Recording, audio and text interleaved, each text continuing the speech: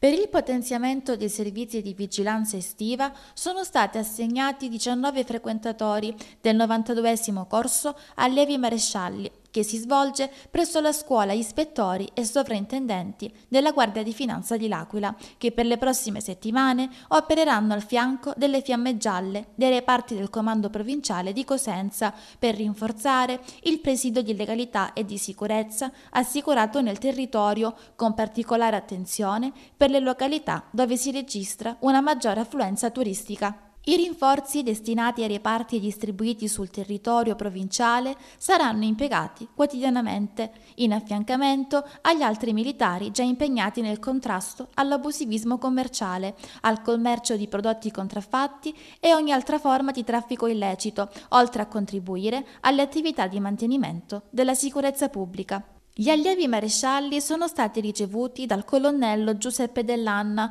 comandante provinciale, che ha rivolto un saluto di benvenuto ai giovani futuri ispettori del corpo, esortandoli a fare tesoro dell'esperienza che acquisiranno durante il tirocinio pratico che gli consentirà, una volta immessi in servizio presso i reparti del corpo, di poter svolgere in modo professionale i compiti istituzionali affidati alla Guardia di Finanza.